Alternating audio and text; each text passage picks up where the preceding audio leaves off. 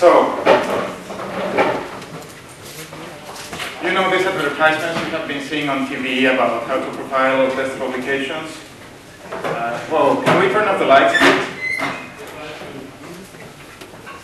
Excellent. Yeah. So, anyway, let's get started. Let me show you some bars to scale. I won't really tell you what these bars are about right now. We'll just go one by one to see, you know, the proportions of different things. So, Dodgy, come here. Come, here. I'm gonna measure your head. Yeah, I'm gonna get. I'm, I'm gonna measure your head. So Dodgy is a smart man. He's writing a new debugger front end. He's written a bunch of XML stuff which I can really not understand. So Dodgy's brain is 20 centimeters long, right? I don't know how he manages to understand all of this, only 10 centimeters. But anyway. Say you're working in your computer, so you have your beautiful wooden desk, you bought it at IKEA, as everyone else. You have your computer, and you don't remember something, so you reach for a book. Like, your radius of action in your desk is generally about 80 centimeters, right? Let me take someone else. What's your name? Ariti. Okay, so can I measure your arm? Okay, 80 centimeters. no, really, really. So, if you have to go out and reach something on the other side of your desk, it's 80 centimeters, you know? You'll get hurt in your back if you try to, to stretch more than that. So that's like your working set of books, the ones that you have in your desk. If you have to go to the other end of the room, this was the cheap one, so it only goes to three meters. but you know, if you have a pretty big bedroom or study room, this is three meters, so four meters should be what, around here? You have to stand up, walk, it, walk to the other end of the room, pick the book, go back to your desk, sit down, read the book, and say, oh, okay, now I have it in my brain, so it's much faster to access. Got that? But there's another thing in the bottom. It's something that's really far away. So let's see just how far away it is. Let's scale this. That's half the original size. So they, they are still to scale, right? So this something is not, it, it's not inside your apartment. It's, it's more than 10 meters away. So let's scale it back. It's not, it's not at the end of the hall. It's not within 25 meters either. Scaling down. This thing is far, it's really far away. It's not the corner store either. One kilometer away. You, you can see the little, you know, you, you, you people with really good, good eyesight, unlike mine, they can, they can barely see the orange stripe here. So what is this thing that is so far away?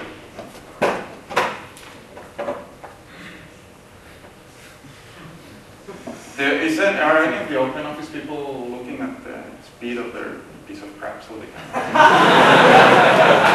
anyway, so this is getting, we're starting to see something here. That's the university campus, right? We are somewhere, where are we? I guess we're something around there, probably there. So, it's much farther away than that. Let's zoom out. That's a pretty, pretty good chunk of Brussels.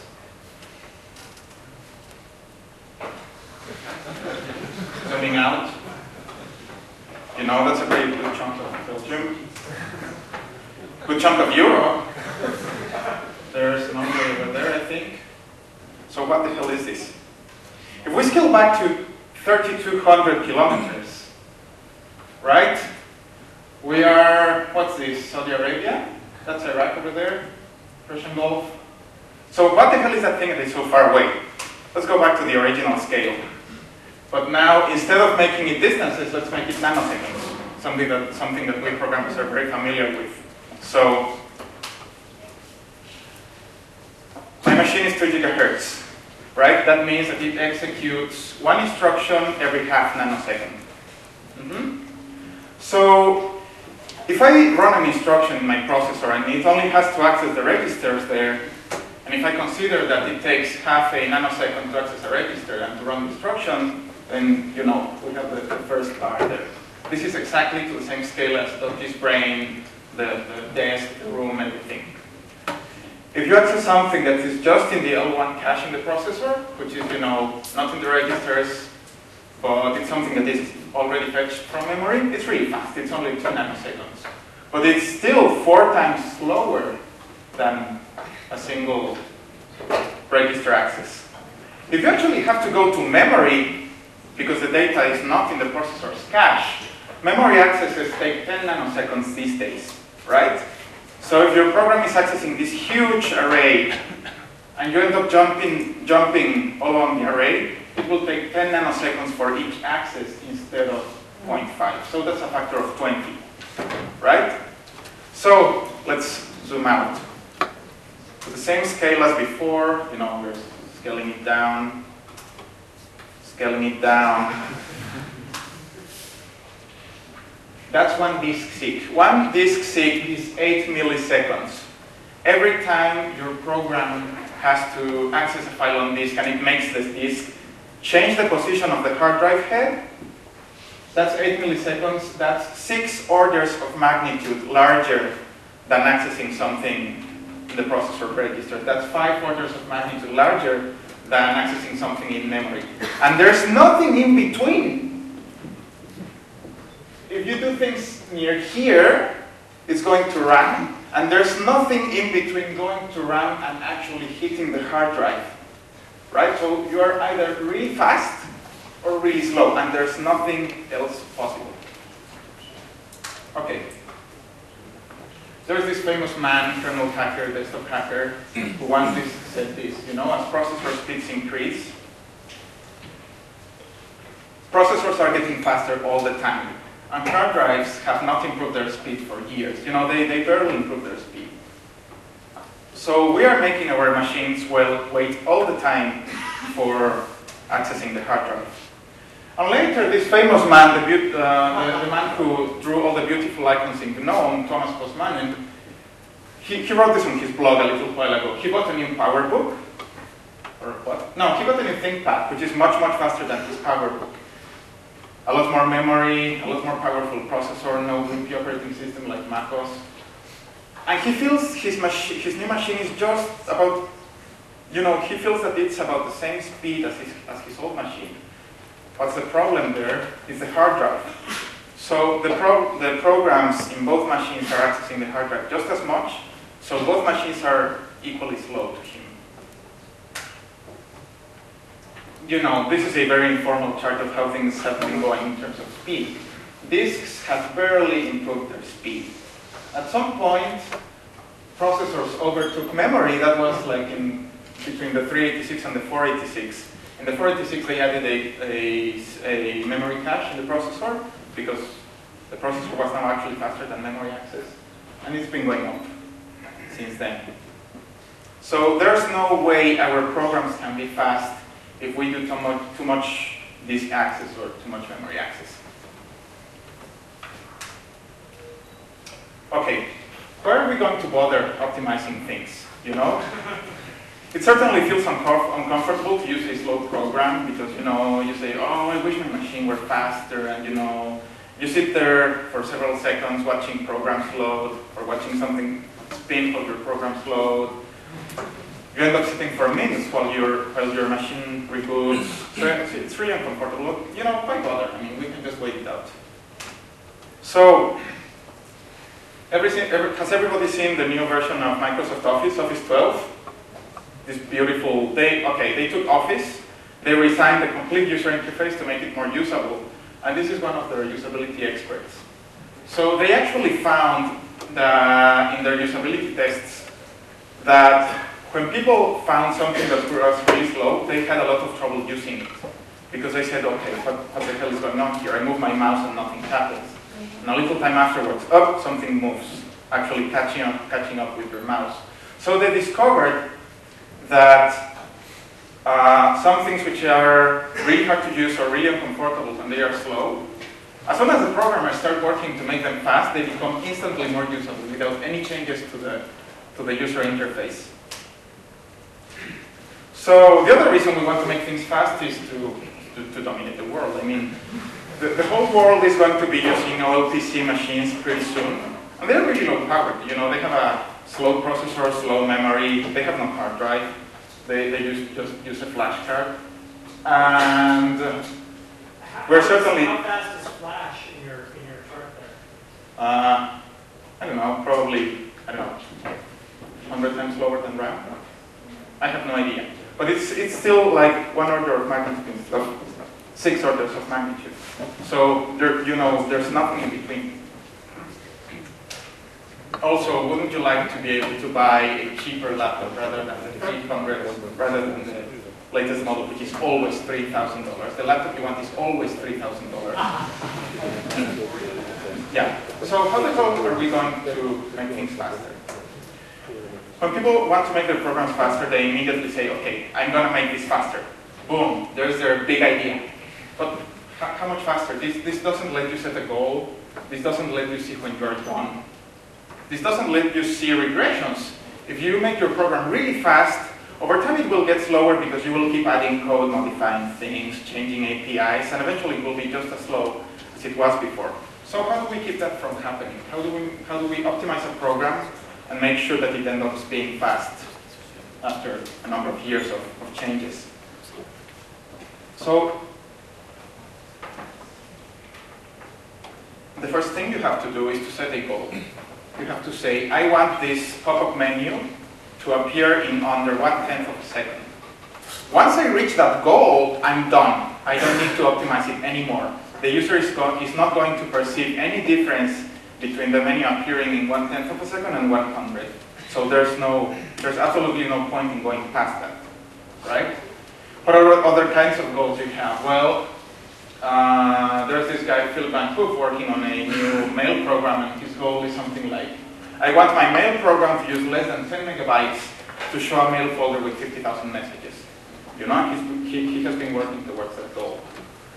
Or launch a program in under one second. OpenOffice these days takes like eight seconds to launch in my machine, and it's like the fastest laptop I could get. That, that's, that's just ridiculous. So once you set a goal, you can blame people when things go wrong again you are done when you reach your goal.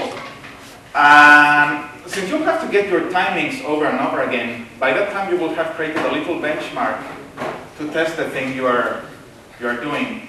Ah, I'm not going to let you take the picture. I'm not going to let you. Okay. Uh, so by the time you create a benchmark, you have, an, you have a way that's easy to reproduce, you know, an, an easy way to reproduce your measurements. And then you can use it as a regression test in the future. That's what, what they've been doing with Cairo. The new, uh, the new performance test suite for Cairo, it's a big list of performance tests. You know, how, how long it takes to draw a polygon, how, how long it takes to draw a gradient, how long it takes to draw a big complicated Bezier curve. And the way they do it is they record all of the sessions of their performance test suite, and they keep a history of that. So they can compare the, the timings of their benchmark at any two points in time and see, okay, something went wrong between this version and this version because now things are, you know, five times slower or something. So we didn't know that a few years back. So when, you know, uh, Stephan Kulow in SUSE, he made a lot of work for SUSE 9.3 to improve the boot time. So boot time in SUSE 9.3 was actually pretty nice. And then it went to hell for SUSE 10.0 it went to hell because we never had a way to keep taking those timings consistently. So between SUSE 9.3 and SUSE 10, people starting adding more crap to the boot process, changing the daemons, changing the startup things, and now it's just as slow as, as before, you know? Right now SUSE takes, I don't know, one minute to boot, two minutes to boot. So all the hard work that this person did was worthless because we didn't test it all over again. all over again. So, uh, there's this guy who is one of the pioneers of performance stuff in general. So, let's see. Let's say you have, how do you decide how do you decide what to start optimizing in a program?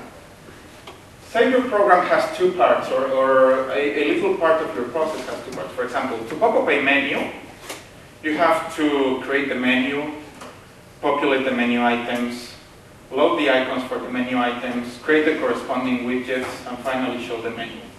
And you think by intuition, okay, I think that creating all those labels takes a lot of time. So let's imagine that the menu only had two parts to it. Like it, it had only the labels and uh, only the, the, the icons and the labels. And you say, I'm going to optimize the labels because I'm really sure they are really slow. So, if you had taken your timings instead of just doing it by intuition, you would have seen that part A takes this much time, you know, and part B takes this much time. It doesn't matter if the parts are not like big, nice, contiguous chunks, right? They could be, this could be a little part here, a little part here, and a little part here, but if you spread them out, they, they look like that. So, you work for two weeks, you work really, really hard to make this part faster. You make it five times faster, right? And everyone gets really happy when they make something five times faster. I mean, that, that's a lot. But in the end, it, it, you know, in the big picture, it's not really much faster. You know, if this took what 15 seconds, maybe it only takes 11. And that's, that's not a huge change. I can still go make a at that time. But if instead, if you had worked on making the red part twice as fast, which is not such a big improvement, this wins. You know. So before starting to optimize anything, you really have to know what the slowest part is. You cannot do it by intuition. You really have to take your measurements in the machine, and then you'll see uh, what to optimize. There's another consequence to this. For example, let's say you need, uh, let's say that the absolute fastest you can make each of these parts is the, like the fastest you can make the red part is twice as fast as before. And the fastest you could make the blue part is this little square. So if you, after, if after doing this, the red part, you do the blue part, you will end up like this, right? If your goal was to get to here, there's no way you're going to be able to achieve it if, if this is the, the fastest you can go. So by setting your goals and later analyzing how much faster you can make each part, you'll actually know if you can, you know, if you can actually reach your goals. So, how do we measure things? Well, we use a profiler. Profiling tools in free software, in general, they suck. gprof is completely useless. It doesn't work for shared libraries. It doesn't work for multi-threaded programs. It doesn't work for things which you use with DLOpen. So it, it, it's it's very nice for the examples in the gprof manual, but otherwise it's useless. Uh, there's, oh man, I don't have sysprof installed on my laptop. Does anyone have sysprof over there? No? Man, I wonder if the software is so slow. Okay. well, I, I'll try to show you sysprof later, but I don't have it installed. Sysprof is this CPU profiler. You run, your, you, you run sysprof, you hit the start button, you run a program, you hit the stop button, and then it will show you uh, a tree of all the functions that, work, that got called in your program with their respective timings. Uh, so you can start seeing which functions took the most time. Sysprof, unfortunately, only shows you CPU time. If you have an application waiting for this I.O., it won't show you that. Or you can use strace to, to monitor syscalls. So what's the problem with strace?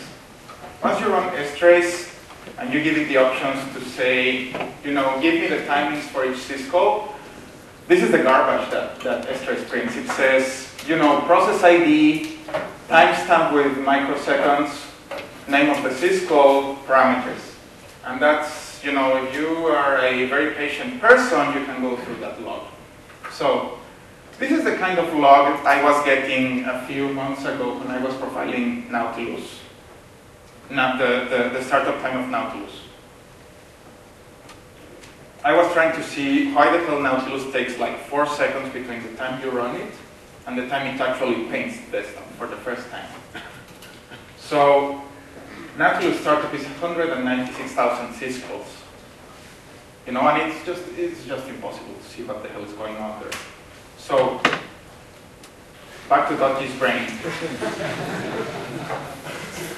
can I can I so 20 centimeters by 16, well 15. Okay, thank you. Oh, and the volume. Nine. You know, that's, what's that, like a thousand cubic centimeters of gray matter? So in your thousand cubic centimeters of gray matter, you have a very sophisticated computer for processing visual information, right?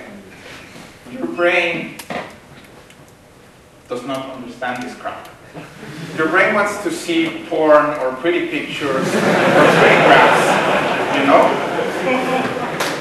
So you have to use your brain's capacity to understand porn instantly. Like, you, you look at you look you, you you're looking at pictures and you say I like I like don't like don't like don't like like that. It's automatic. It's really really fast. So I spent two hours writing a little Python program that parses that strace crap and draws this chart. So there's a bunch of checkpoints here, and I'm sure that people who even in the fourth row cannot see it because it's too small. But anyway, this is the chart it prints.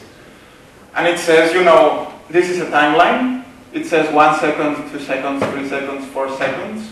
And those, those little lines connect the, you know, the checkpoints in the program startup. So immediately you can see that here there's a big problem because all this crap is happening in a really small space. So this is, it, it's not worth it to optimize this because it takes, you know, 6.32, 6.38. From here to here, it takes six hundredths of a second. While between here and here, you can see that it takes you know, almost two and a half seconds. So there's something going on here which takes two and a half seconds, and you say, what the fuck is that shit? and that's actually GNOME VFS daemon launching. The next thing I did is, why the hell does GNOME VFS daemon take, some, take, take such a long time to load? And well, I started going to GNOME VFS daemon, I fixed the problem, and now this has gone to, you know, being pretty much instantaneous. The same problem up there, you know, let me see if this works. So we have the same problem uh, up here. Register icons. So Nautilus used to have, from, from the days of GNOME 1.4, Nautilus used to have this little function that initializes all the icons that Nautilus will ever use. So it reads a ton of files. It reads a big ton of files. Later in GNOME 2. Something very recent, we, uh, we added this new way to GNOME to do all the icon registration and uh, initialization, and, and, it's really fast. So it turns out that Nautilus no longer needed that old, really old way to load icons. But nobody knew, because that, that code was really old. Nobody had ever measured the timings, and nobody really remembered that it was there. So when we looked at this profile, we saw, oh, why the hell is it registering the icons? It doesn't need to do that anymore. So we just removed that function and removed the one line call to that function. And those, what, one, two, like 2.2 seconds, they just went away. Right? So if you spend a little time making a little automatic tool to draw this kind of profiling charts for you, you will have much easier time. I ended up getting like 30 of these charts, and they were just, you know, you could just look at them and immediately see the problem instead of going through this crap. Um, yes? One question, uh, how do you specify the logging points where you log? Uh, Good question. Uh, the thing I did, so the only thing that strace prints is syscalls. So uh, different points in the program, I, I wrote this little function that is, it's called the access, access system code. And to access, you pass a string. It, it, it's actually meant to say you have permissions to, to see a file. But instead of passing a file name, to access, I just pass this string, which is, you know, you could do that with a, with, you could do that with some cheaper books to actually get this, but it's much easier just in in, in, different points. So I just call access a bunch of times. Every single one of those calls fails. But then my little Python program looks for those and those. So if you take the time to write those little tools to, to signal in a program, you know, you'll have much easier time later. I ended up getting like 30 of these charts, and they were really useful. So, how, what do you do when you're providing things? You have to take the same measurements over and over and over again. Especially when you're doing a lot of, uh, of I.O., things get very unpredictable. The Linux kernel is a piece of shit when it comes to I.O., so it, it gives you really unpredictable results. So you have to run things many, many times, do, get some averages, do some, do some statistics to, to get, you know, to get really meaningful results. Otherwise, one time you get a measurement of four seconds, the next time you get a measurement of seven seconds, and it doesn't make any sense. So you have to take some, some statistics across a set of results. So you actually have to take the time to make that automatic, because if it takes you two minutes of typing things by hand to get one single set of measurements, you're going to do it twice, then you're going to get bored and go, you know, look at porn or play or something. so you have to make it automatic. If it, if, if it takes you five hours to write a little program to get those benchmarks, it's going to be much better in the end. So, what are the things you measure? You want to measure tasks. You want to measure fine-grained, well-defined tasks. We had a lot of trouble in Nautilus, and a lot of GUI programs have the same problem because they are, they are very, very asynchronous. It's not like you want to measure the time from here to here in the source code, because that source code will set up idle handlers, and those idle handlers will, set up timeouts, and those timeouts will launch threads, and the threads will later notify other threads when stuff happens, and you know, you never have any idea of when that stuff finishes. So Nautilus does stuff like load the file list in an idle handler. Then the idle handler, it loads the icon for a file, but that's also asynchronous.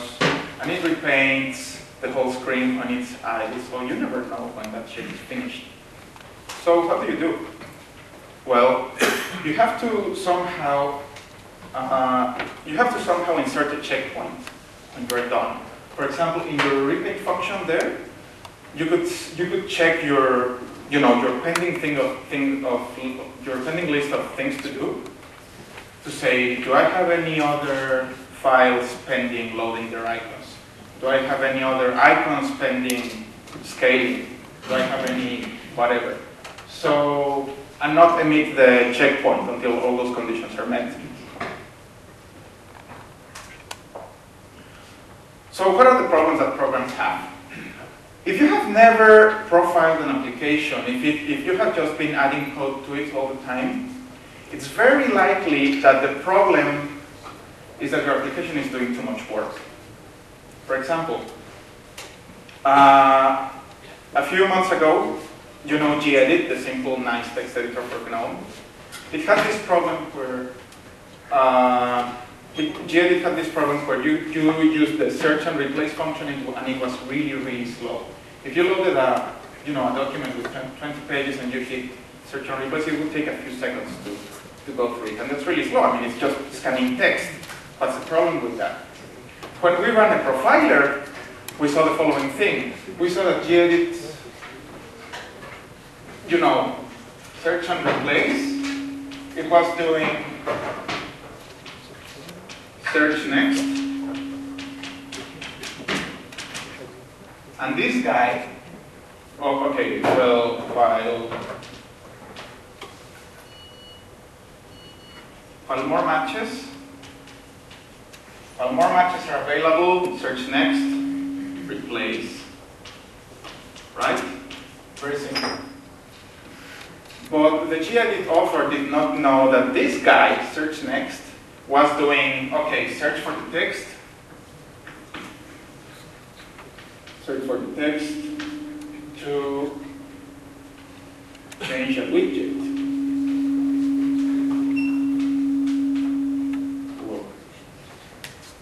And this change of widget was doing, it did search for the text, fine, very fast. For changing a widget, it was changing the sensitivity of the menu item that you used to search for the next item, so that Gedit could show you whether there were any more items to search for by disabling the menu item, you know? And of course, change widget flipped a bit in one of the widgets, and then it did repaint. So every single occurrence of the text that you were searching for, it was causing a full repaint of all the menus. So the solution is to make the search function return whether there, whether there are actually any other items. You collect that information here, and only in the very end do you update the widgets, right? Did everybody understand that? Yes, no, answer? Okay. So it was doing way too much work for, for a simple operation. If you have never profiled the program, the next thing you'll notice in your application, it's probably that it's doing too much I.O. Once you have removed all the excess work, once you have gotten rid of all the crap, then you'll actually start to see real problems, like too much I.O., then bad algorithms, then smaller stuff like bad patterns with memory access, trash with cache. And until the end, you, you get to see really tiny things like, oh, you know, you should be using better instructions or other compiler options, but that never matters in the beginning because we're doing way too much stuff anyway. Uh, some examples of bugs we have found. Bugs that are still present, but and, and we have not fixed them. You know, so if anyone wants to fix those, feel free. So, how do you actually go about profiling? You have to characterize the problem. You have to say, okay, my problem is that this pop-up menu takes half a second to appear. From the time I click the mouse until it appears on the screen takes half a second, and that's way too much. Then you make an hypothesis. You say, okay, well, you, you, you make your hypothesis by, by asking the profiler, not by intuition, you know, because we are not, uh, we're not magicians. So you ask the profiler and you say, oh, okay, the problem is that to create this menu, I have to load these 10 icons. Your hypothesis is if I didn't load these icons, it would be, you know, 10 times faster.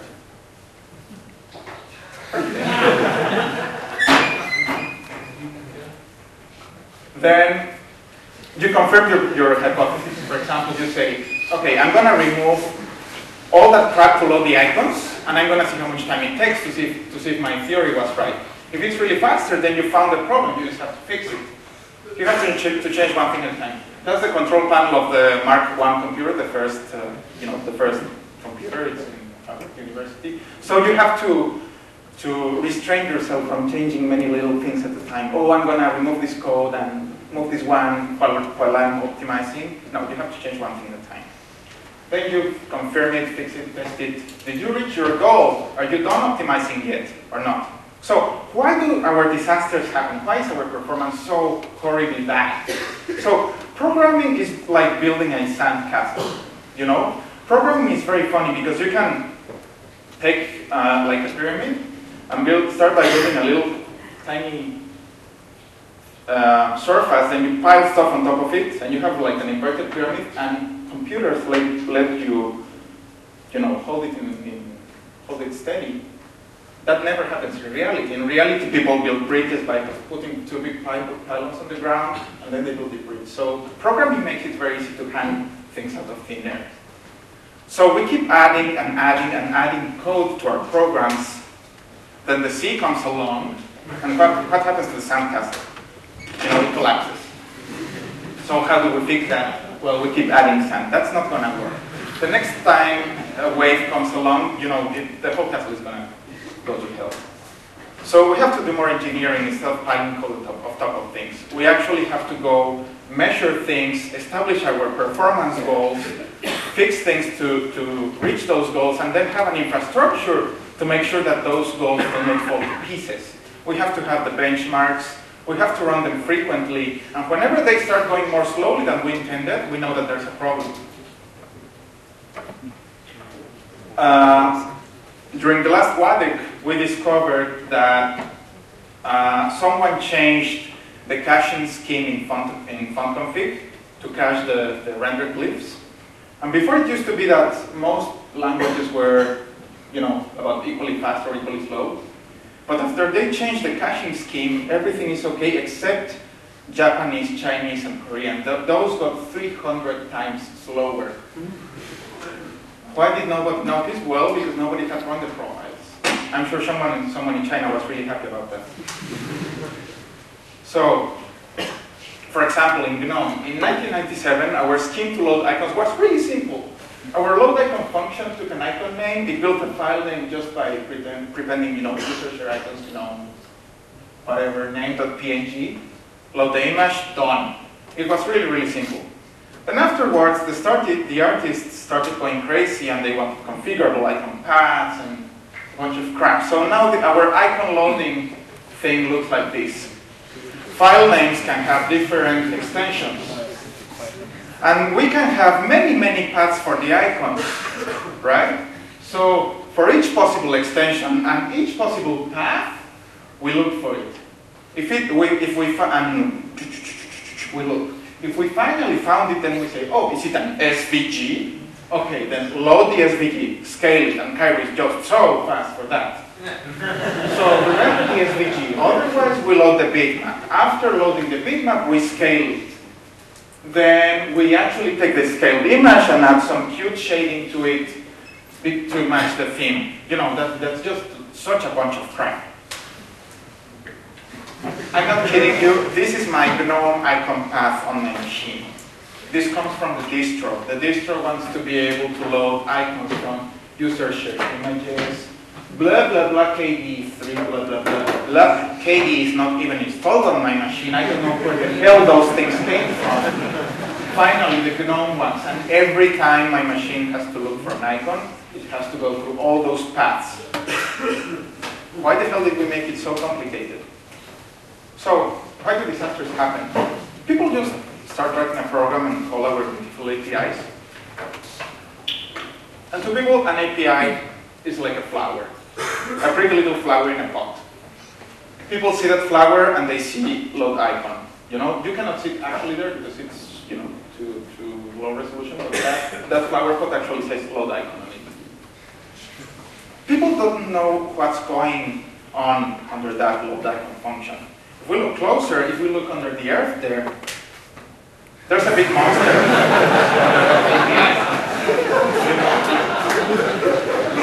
People don't know what the hell is going on inside, inside our pretty functions that we give them to use. They don't know that the monster here is going to bite their ass, they don't know that the monster wants to scan a million paths for a million extensions and it's going to, uh, to load SVG files and render them and scale them and shape them. You know, people just don't know that. So, how do we prevent that? What if our documentation said things like this? This is the, the function we use to take the hash, we, we use to compute the hash code for a string. It's really fast, it just goes through each character in the string once. What if we said, okay, this function is really fast. Its, its running time is proportional to the length of the string, and you know it will run really quickly. However, the performance of load icon is completely unpredictable because it could, it could go to a thousand paths, scale the images, get a clever program to, to get the images for you, you know. That would help because if people write documentation, oh, there's a problem. Okay. what if we make these annotations machine readable? For example, what if we put some dirty little XML in front of each, of each function declaration, then have a program read those. So this is like the, like header files installed in your, in your system. Then you're writing your own, this is your own code that you're writing in your text editor. This is your paint an icon, which name, you compute the, the area to draw, then you load the icon, then you paint the image area. If we had machine-readable annotations, then your friendly text editor could highlight that code and say, okay, you wanted to write a fast function here, but that's not going to work because you're calling a really slow function here. This is not my idea. This is an idea from one of the performance experts at Microsoft. They are actually adding these kind of annotations to all their .NET libraries, and they are going to make Visual Studio uh, do that kind of stuff. So we have to catch up. again. Right? That would be a really cute hack. That's all for now.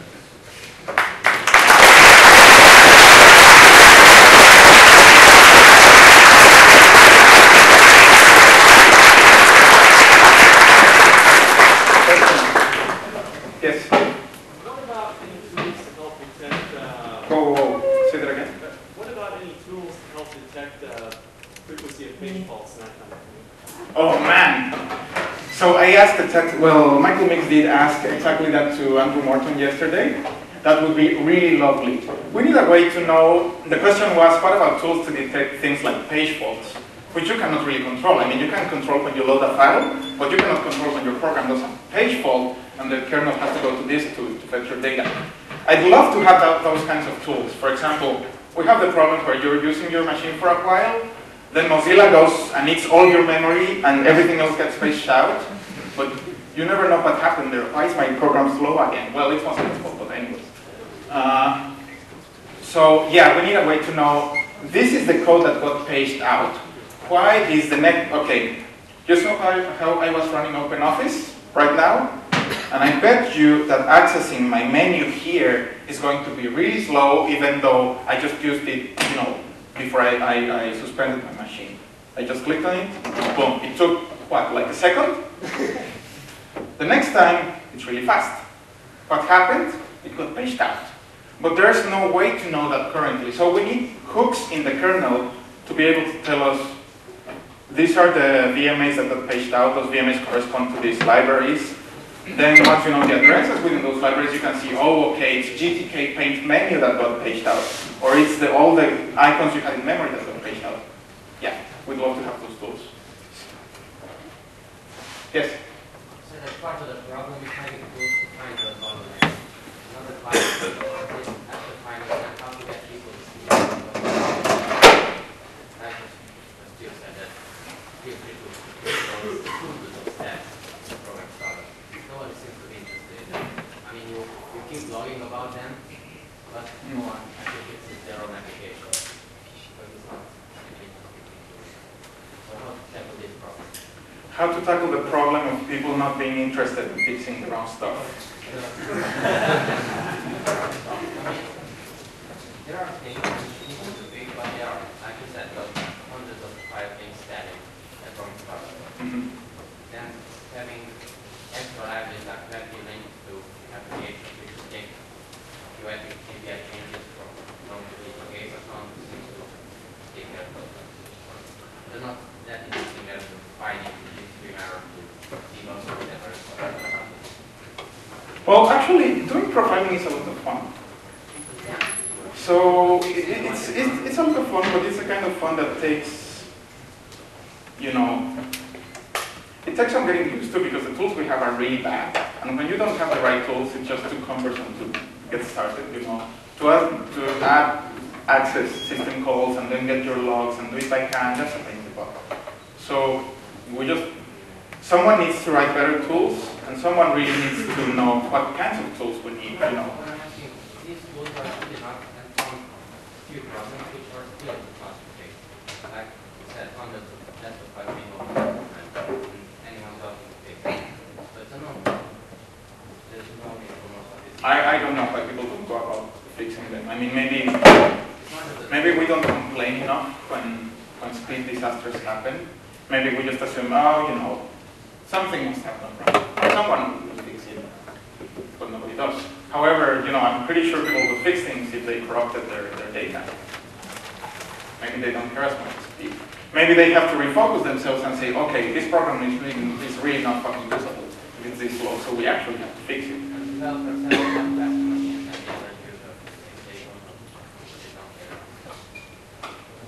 No, everything is just as slow for, for them as for everyone else. You know, in, in GNOME it took a while to get used to the idea that we have to make things usable. The people at Sun Microsystems banked on that same idea for a couple of years before everyone else got convinced of it. So maybe we just have to beat them in, the head for a couple more years before they start going optimizing things. I don't know. I really don't. Anyone else? Yes. Do you really think uh, such a, um, metadata uh, principle is uh, the way to go? The last thing you showed, Yeah. because always somebody uh, can't properly ass- assess the speeds. But you, have, you need, you- you need uh, to have a lot of uh, correct information uh, everywhere, otherwise the system breaks down. So if you Uh, if sure. you, if you So- have a large group and some of the people are not able, uh, I think it would be better spent, for instance, in uh, defining the thing you did with access, uh, automatically placing uh, synchronization points, logging points, to be able to profile. Yeah, well, I mean, this is a preventive measure, not a corrective measure. So if this could keep us from doing some disasters, that would be good. Yes. How does it work with asynchronous stuff? I mean, you call, you call the function. Oh, with that you are totally screwed. With that you are totally, Your totally function screwed. always comes back pretty quickly. Yeah. But it sets something in train that eventually take a whole bunch of CPU time. Yeah, I think one pattern we need to start using more is, you know, often you queue things in idle handler, so put them in an async thread or whatever, but there's no easy way to know when everything is done. For example, in GTK, uh, a lot of the time we have like GTK do something and it does, do, does it in an idle handler, but there's no object signal limit when that thing, when that thing actually finishes.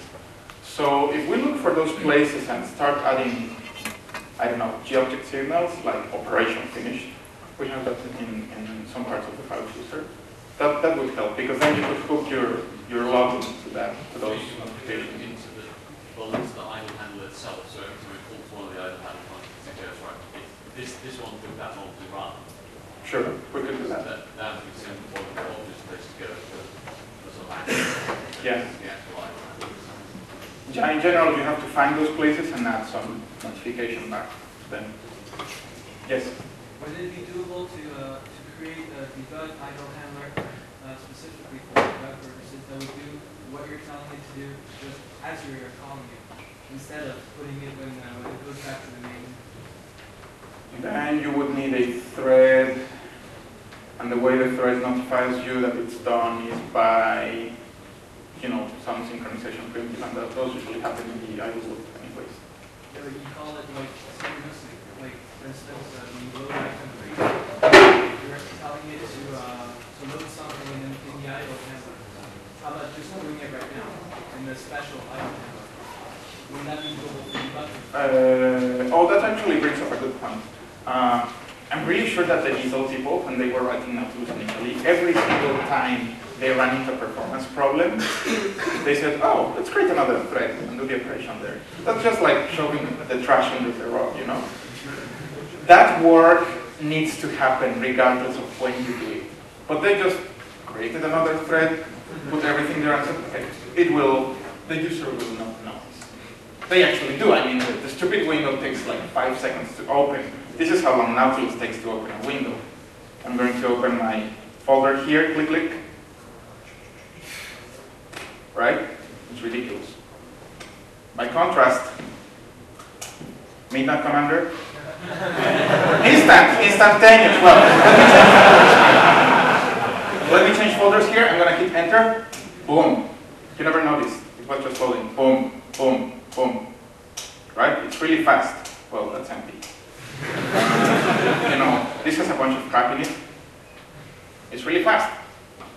And it's completely synchronous. It, it only does a read there, stat every file, print them to the screen. It's done. It doesn't try to load icons. It doesn't try to, do, you know, compute fancy fonts to the fonts fit in the screen. I mean, it's much simpler. It's a text-based application.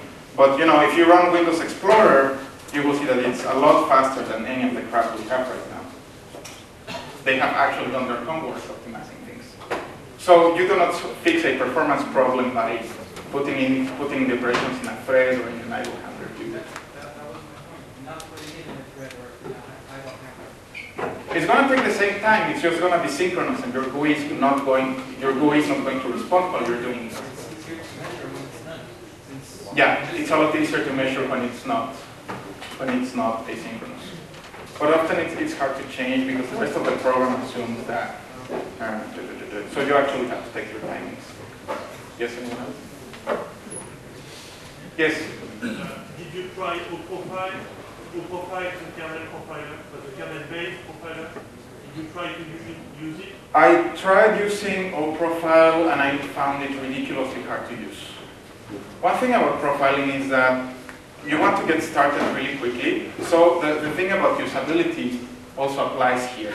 You know, we, we actually need to do some usability work in our development. Why does no one use OProfile? Well, perhaps it's too, it's too hard to figure out.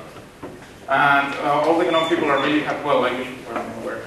A bunch of GNOME people are really happy using sysprof because you run it, you hit start, you run your program, you hit stop, and boom, you have usable results immediately. And OProfile, it's like, oh, what's the command line, what's the configuration file? No, that didn't work. Let me look for another option. You know, I'm sure it's really powerful, actually, to, to show you things like, uh, you know, to collect a lot of a lot of statistics from the system. It's really powerful, but it's really hard to keep going. Yes. Did you try Callgrind?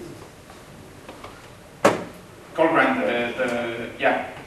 That's really nice. It's really nice. But, you know, I mean, I haven't gone through all the software on my machine looking for performance problems, just some of them.